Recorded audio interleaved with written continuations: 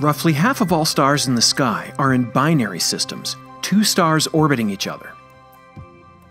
Now, we know all stars are born from clouds of gas and dust that collapse into disks, and the star forms in the center. But what if there are two stars there? How does that work? We know that there's a disk surrounding both stars, far out from them, but we've never seen what happens close into the stars until now.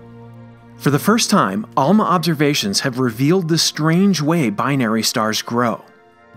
BHB 2007-11 is a young binary system 530 light years away. Detailed ALMA observations show that each star has its own disk a few hundred million miles wide, with both embedded in that much larger disk. Material falls in from the big disk to the smaller ones, but gets stirred up by the orbital motions of the stars. It forms twin spiraling streams, looking like a pretzel, circling around and eventually falling into the stars via their smaller individual disks. Those filaments are over 35 billion miles long.